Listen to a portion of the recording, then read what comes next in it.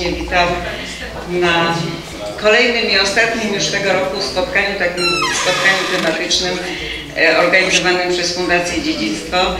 Współpracujemy z Dorostem Powiatowym w Wadowicach, e, z lokalną grupą działania Cztery Żywioły. Tu dzięki przychylności ojca Kustosza, e, brata Samuela, ekonoma klasztoru ojców Bernardynów, no, możemy korzystać z tego pięknego, z tej pięknej sali konferencyjnej, z tego pięknego miejsca, która, który ma niesamowity klimat i mm, chciałam powiedzieć, że tutaj jesteśmy z całego powiatu wadowickiego, że mamy już grupę wiernych y, fanów z Wadowic, z Andrychowa, y, ze Stryszowa, z Landskorony, no i oczywiście najwierniejsi to z Kalwarii Żydowskiej. Szanowni Państwo, y, ten projekt, który dzisiaj kończymy, y, nosi tytuł Cudze chwalicie, swojego nie znacie. Spotkania z historią ziemi wadowickiej połączone z promocją nowych talentów muzycznych. Dzisiejszy temat poprowadzi profesor Tomasz Gaw. Pana profesora dobrze znamy, serdecznie witamy.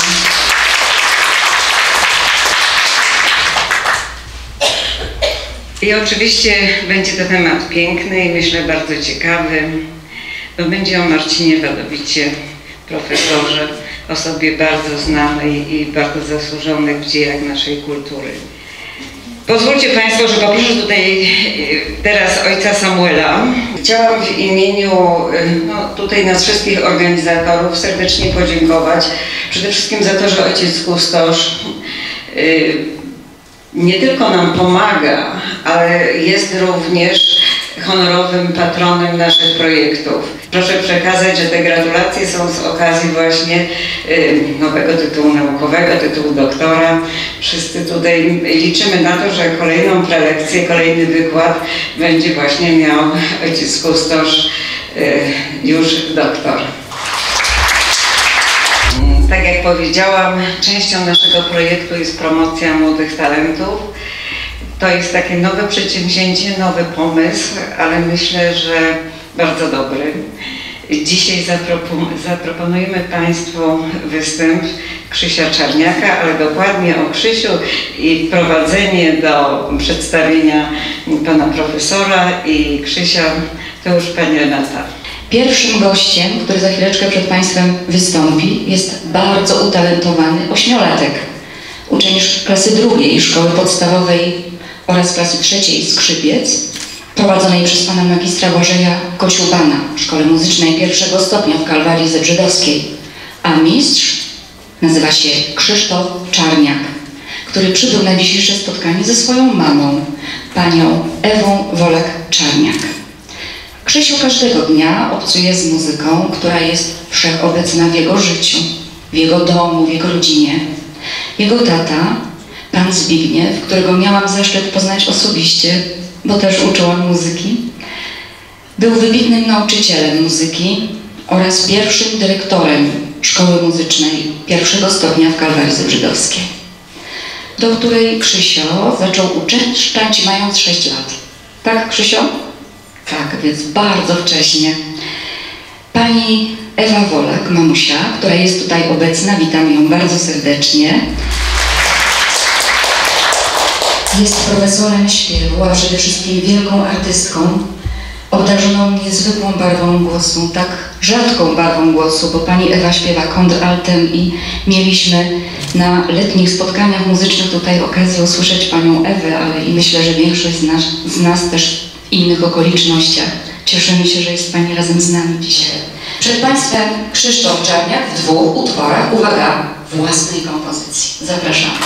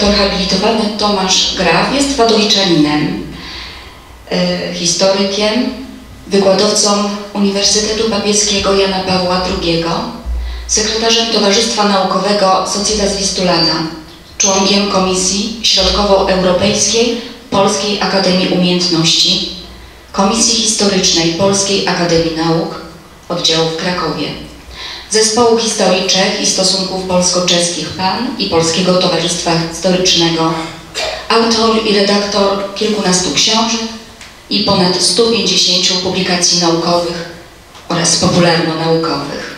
Jest autorem bardzo obszernego, nie wiem czy Panie Profesorze, ponad 600 stron. Jest tutaj na stole, tak. Opracowania biograficznego właśnie o Panu Marcinie Wadowicie. Zapraszamy Panie Profesorze. Zaczynamy y, od y, tego slajdu, który y, można powiedzieć przedstawia najpopularniejsze ikonograficzne przedstawienie Marcina Wadowity. Człowieka, który żył w czasach, kiedy powstawał tutaj kompleks klasztorny. Człowieka, który żył w czasach, kiedy mm, powstawało tutaj miasto. Do tej pory nie udało mi się jeszcze, być może to jeszcze się kiedyś uskuteczni, odnaleźć związków Marcina Wadowity z Mikołajem Zebrzydowskim, czy też z rodziną Zebrzydowskich, natomiast już udało mi się znaleźć pewne źródła pokazujące silne związki Zebrzydowskich właśnie z Uniwersytetem Krakowskim w tym, w tym okresie, więc to też jest temat na pewno na przyszłą publikację. Przez fakt powieszenia tego portretu w tym miejscu przez lata uważano, że Wadowita był rektorem Akademii Krakowskiej. Co więcej, już w połowie XIX wieku tak o nim pisano, a w Wadowicach w sali Urzędu Miasta oraz oraz w szkole wisiały portrety, które były kopią właśnie tego XVII-wiecznego portretu z Kolegium Marius i jeden z nich właśnie był podpisany na spodzie obrazu, że to jest właśnie rektor Akademii Krakowskiej. Moje badania wykazały, że niestety nie był on rektorem Akademii Krakowskiej, to jest wykluczone, natomiast był dziekanem Wydziału Teologicznego, na pewno słynnym uczonym. Był również wicekanclerzem uniwersytetu, człowiekiem, który z ramienia kanclerza, czyli biskupa krakowskiego, de facto sprawował kontrolę nad uniwersytetem przez pewien czas. Był na pewno jednym z najbardziej znamienitych profesorów swojego okresu, który zasłynął chociażby ze sporu, ze sporu z jezuitami, mimo że sam u jezuitów popierał nauki w Rzymie.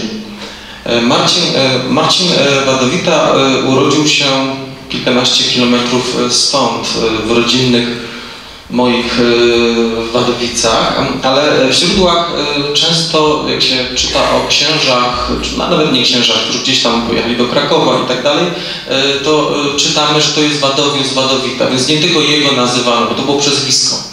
Moje badania tutaj udowodniły, że pochodził z rodziny Kępków i wcale nie był człowiekiem pochodzenia zupełnie niskiego.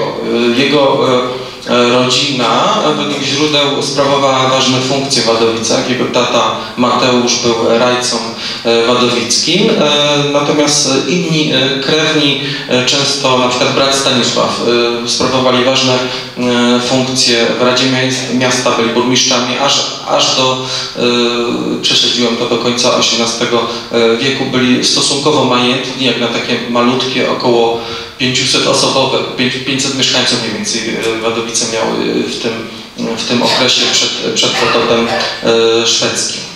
W tamtych czasach, czyli już po Soborze Trydenckim, teoretycznie nie powinno się łączyć beneficjów różnych godności kościelnych, jednak on niektóre łączył.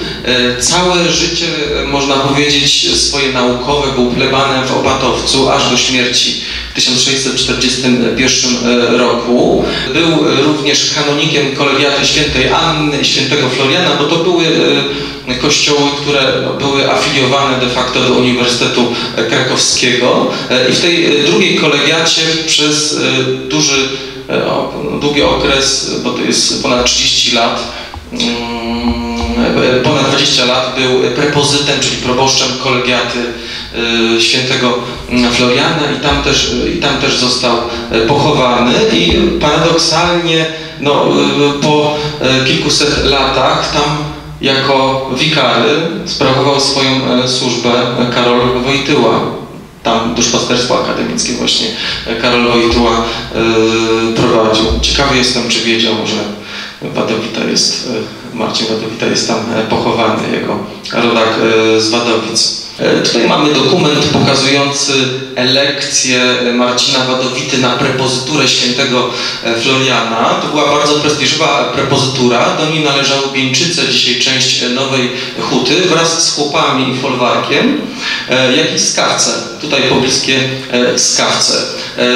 Taki ksiądz proboszcz, który otrzymywał takie skawce czy Bieńczyce, doglądał oczywiście tego folwarku, ale tam nie mógł być codziennie. W związku z tym podpisywał umowę na arendę, czyli na dzierżawę, zazwyczaj z jakimś szlachcicem i znalazłem właśnie dokumenty poświadczające właśnie taką dzierżawę i jego kontakty z panem niejakim Żaryńskim. Ten Żaryński okazuje się, że był niedobrym dzierżawcą, a może w jego mniemaniu dobrym. W każdym razie bardzo uciskał chłopów, wyciskał z nich ile się da danin i tak dalej, a przede wszystkim ich bił.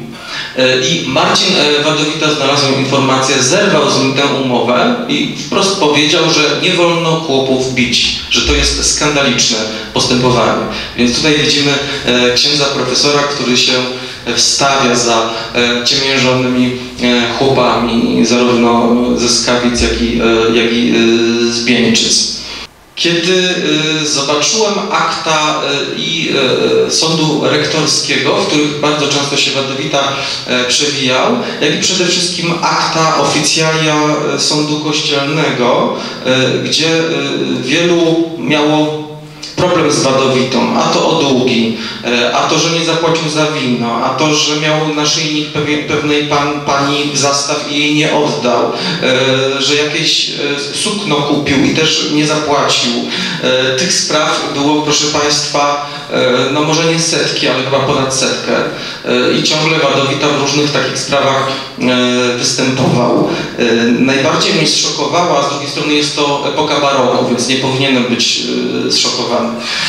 Ale to właśnie pokazuje, że Wadowita był człowiekiem z krwi i kości. Najbardziej właśnie szokująca może być historia szlachcica Hieronima Przecławskiego, który przyszedł przed urzędnika kościelnego i mówił, że tenże ksiądz prepozyt Wadowita wtargnął do karczmy, pobił mu sługę, także zranił tego sługę jeszcze ukradł mu konia.